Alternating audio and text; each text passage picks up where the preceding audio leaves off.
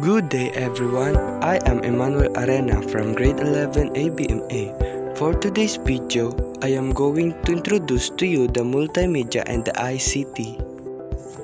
So multimedia and information and communication technology or ICT covers any communication device or applications including radio, television, cellular, phones, computer and network hardware and software, satellite systems, as well as various services and applications.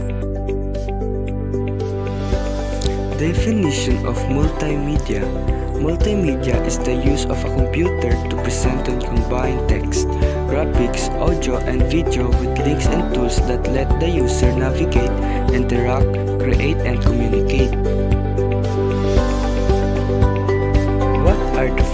Examples of multimedia? The five different multimedia which supports the education process are narrative media, interactive media, communicative media, adaptive media, and productive media.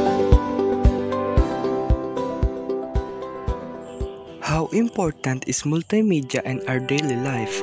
Businesses use multimedia in daily life in form of presentations, training, marketing, advertising, product demos, network communication, etc.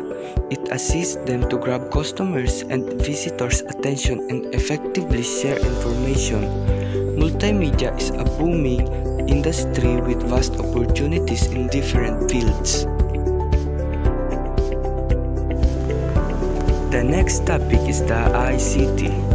Information and Communication Technologies or ICT is defined as a diverse set of technological tools and resources used to transmit, store, create, share or exchange information. Examples of ICT Software applications and web